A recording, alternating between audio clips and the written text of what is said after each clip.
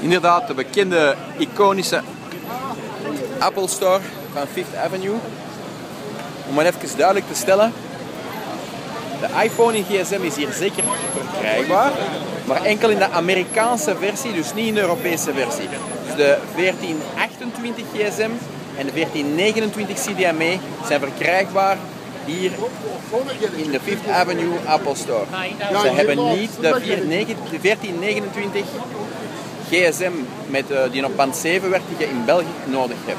Dus je kunt wel de 1428 kopen en die werkt in België, maar enkel op 3G. Dus de echte 4G. En ik heb een uh, Starbucks kopje bij.